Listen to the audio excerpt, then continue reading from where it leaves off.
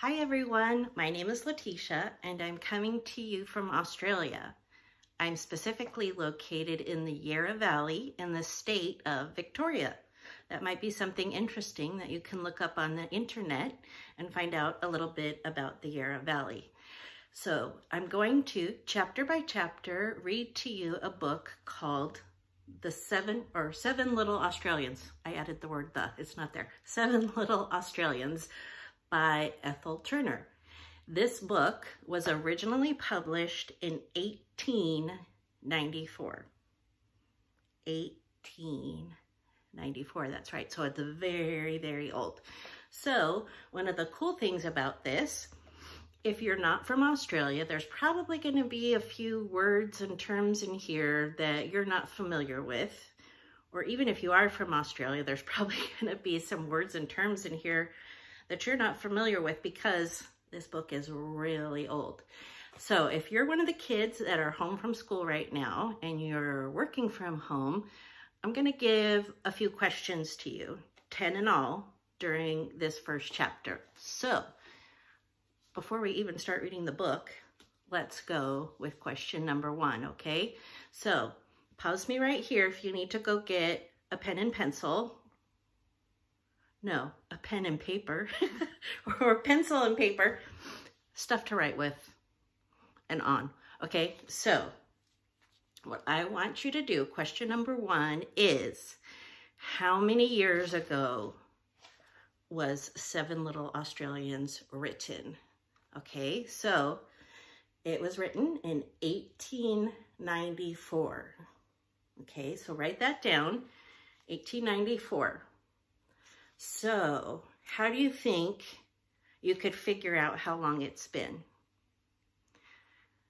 If you're watching this in 2020, you could subtract 1894 from 2020 and tell me how long it's been.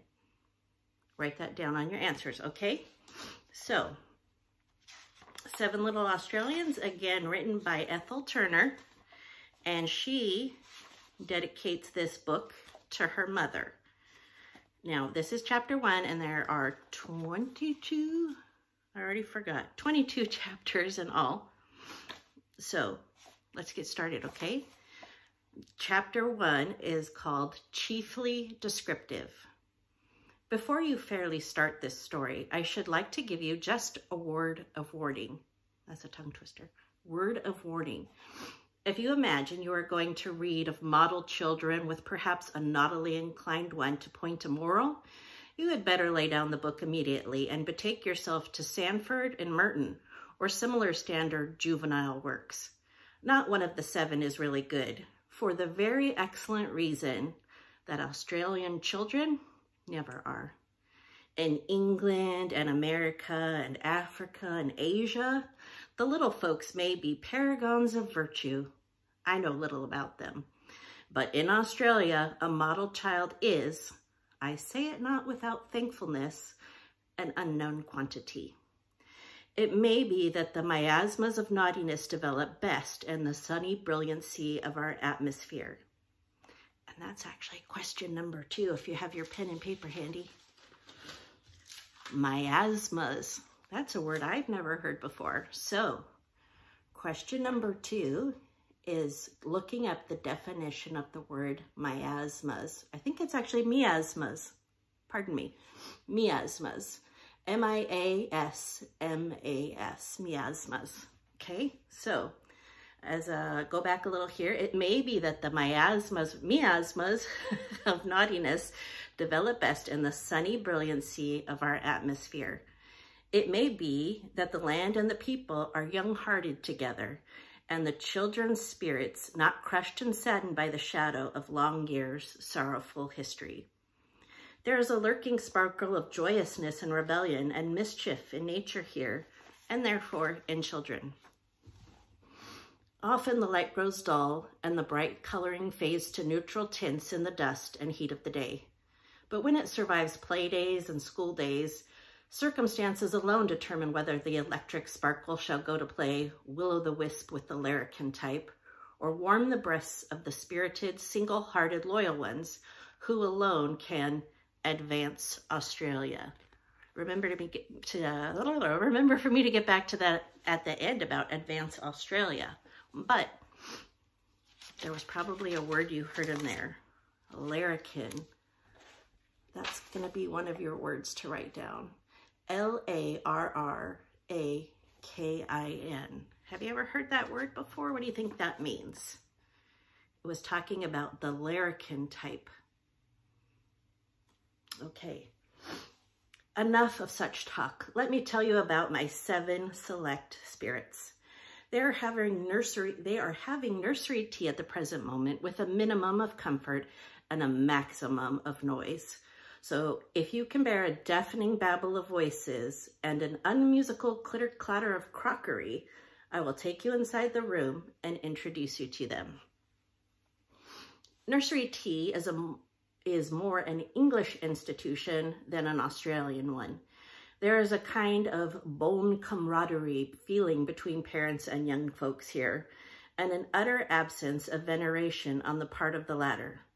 So even in the most wealthy families, it seldom happens that the parents dine in solemn state alone while the children are having a simple tea in another room. They all assemble around the same board and the young ones partake of the same dishes and sustain their parts in the conversation right nobly. But given a very particular and rather irritable father, and seven children with excellent lungs and tireless tongues, what could you do but give them separate rooms to take their meals in? Captain Woolcott, the father, in addition to this division, had had thick felt put over the swing door upstairs, but the noise used to float down to the dining room in a cheerful, unconcerned manner despite it. It was a nursery without a nurse, too, so that partly accounted for it. Meg, the eldest, was only 16 and could not be expected to be much of a disciplinarian, and the slatternly but good-natured girl, who was supposed to combine the duties of nursery maid and housemaid, had so much to do in her second capacity that the first suffered considerably. She used to lay the nursery meals when none of the little girls could be found to help her and bundle on the clothes of the two youngest in the morning. But beyond that, the seven had to manage for themselves. The mother, you ask? Oh, she was only 20, just a lovely, laughing-faced girl whom they all adored and who was very little steadier and very little more of a housekeeper than Meg. Only the youngest of the brood was hers, but she seemed just as fond of the other six as of it and treated it more as if it were a very entertaining kitten rather than a real live baby and her very own. Indeed, at Misrule, that is the name of their house always went by, though I believe there was a different one painted above the balcony. That baby seemed a gigantic joke to everyone. The captain generally laughed when he saw it, tossed it in the air, and then asked someone to take it quickly. Okay, so number four. Did you hear the name of the house? It said its nickname was Misrule, M-I-S-R-U-L-E,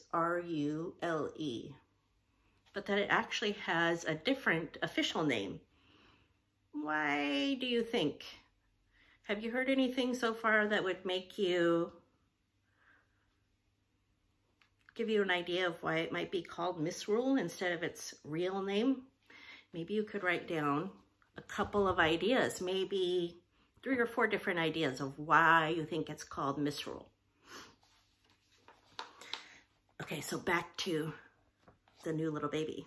The children dragged it all over the country with them, dropped it countless times, forgot its pelisse on wet days, muffled it up when it was hot, gave it the most astounding things to eat, and yet it was the healthiest, prettiest, and most sunshiny baby that ever sucked a wee fat thumb. Hmm, there was another word in there that I've never heard before. Please. Sounds like the other children put police, a police, or forgot a police. They didn't put it on, they forgot the police. P-E-L-I-S-S-E. That would be a really good word to look up too. And that was number five.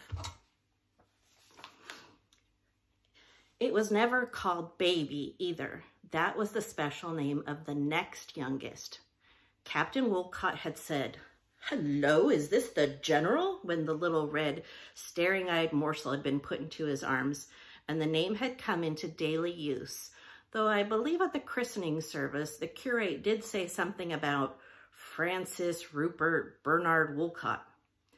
Baby was four and was a little soft fat thing with pretty cuddlesome ways, great smiling eyes, and lips very kissable when they were free from jam.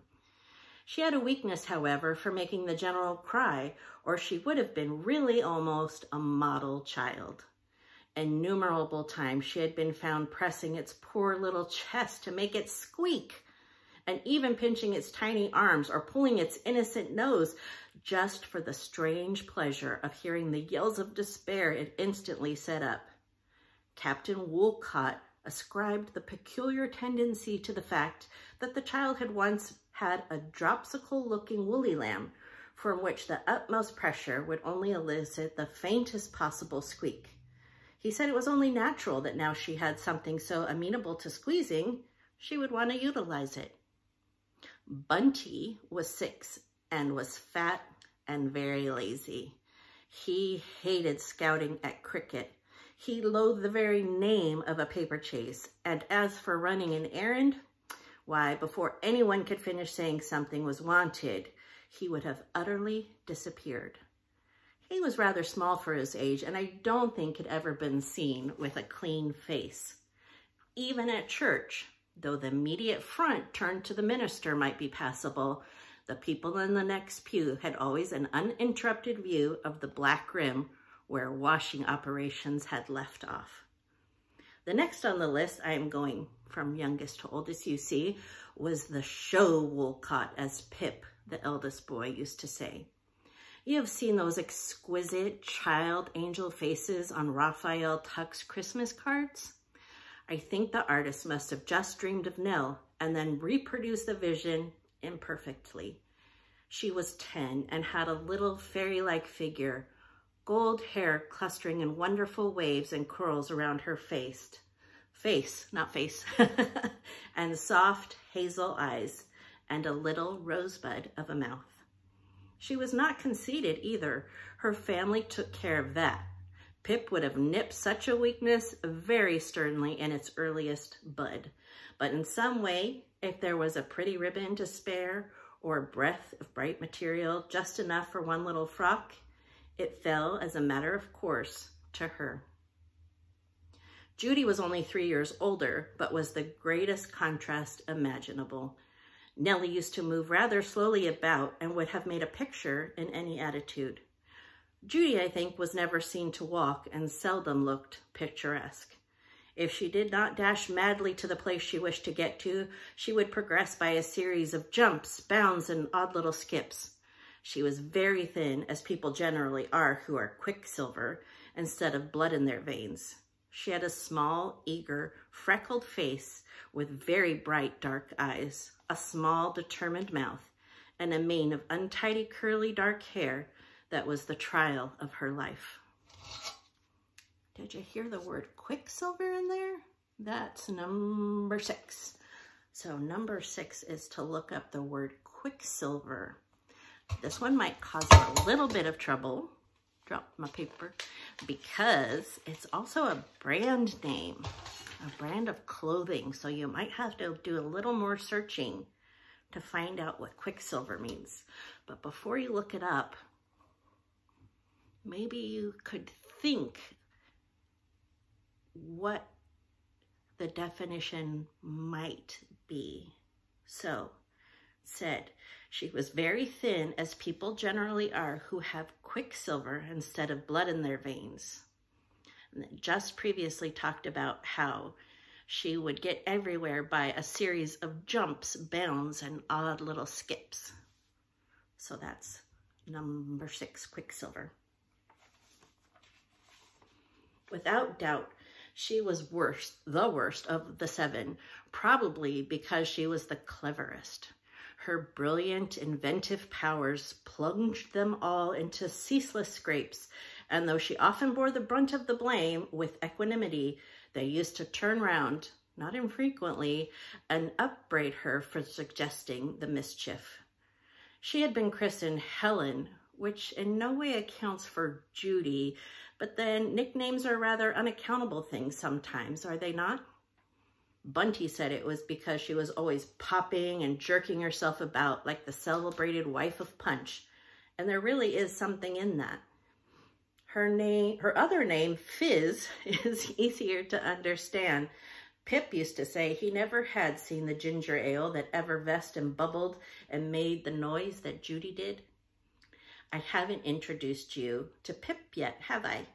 He was a little like Judy, only handsomer and taller, and he was 14 and had as good an opinion of himself and as poor a one of girls as boys of that age generally have. Meg was the eldest of the family and had a long, flare, fair plait that Bunty used to delight in pulling. A sweet, rather dreamy face and a powdering of pretty freckles that occasioned her much tribulation of spirit. Now, if you're from a country other than Australia, you might have heard a word in there, plat. To me, it looks like it should be pronounced plate but it's actually pronounced plat. Now, I'm going to give you the answer to this one. She had a long, fair plait that Bunty delighted in pulling. A plait is the word they use in Australia for a braid. So if her hair is braided, she has a fair plait. So there you go. I gave you the answer. Shh, don't tell anybody. Okay. It was generally believed in the family that she wrote, wrote poetry and stories and even kept a diary, but no one had ever seen a vestige of her papers. She kept them so carefully locked up in her old tin hat box. Their father, had you asked them, they would have all replied with considerable pride, was a military man and much from home. He did not understand children at all and was always grumbling at the noise they made and the money they cost. Still, I think he was rather proud of Pip, and sometimes, if Nellie were prettily dressed, he would take her out with him in his dog cart. Dog cart. That's number eight, dog cart. I don't know what a dog cart is. So if you write down dog cart for number eight, you can look that up and see what it is. Must be something from a very long time ago. I've never heard of it. He had offered to send the six of them to boarding school when he brought home his young girl wife, but she would not hear of it. At first, they had tried living in the barracks, but after a time, everyone in the officers' quarters rose in revolt at the pranks of those graceless children. So Captain Woolcott took a house some distance up the Parramatta River and in considerable bitterness of spirit, removed his family there. And number nine is Parramatta River. P-A-R-R-A-M-A-T-T-A River, Parramatta River. Why don't you look up the Parramatta River and see where in Australia it is, how big it is, what's around it. They liked the change immensely, for there was a big wilderness of a garden, two or three paddocks, numberless sheds for hide and seek, and best of all, the water. Their father kept three beautiful horses, one at the barracks and a hunter and a good hack at misrule.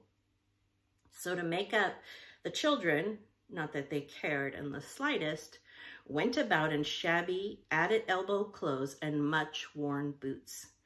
They were taught, all but Pip, who went to the grammar school, by a very third-class daily governess who lived in mortal fear of her ignorance being found out by her pupils. As a matter of fact, they had found her out long ago, as children will, but it suited them very well not to be pushed on and made to work. So they kept the fact religiously to themselves. And that is the end of chapter one. Hope you guys have liked the story so far. Now you might be thinking, that was only nine questions and you said there was going to be 10. So number 10 is to test your memory and see if you can remember the names of all seven of the children. Can you remember that? Maybe as a extra bonus question, do you remember the dad's name? I'll give you a hint. It was Captain somebody. Okay, that's it for today. And I am dedicating this reading to two of my friends in Australia named Jack and Liam. No, they're not in Australia. Why did I just say that? They're in California. Sorry, I have Australia on the brain. This is dedicated to Jack and Liam. Hi, guys. And I hope you'll tune in next time for chapter two. Bye.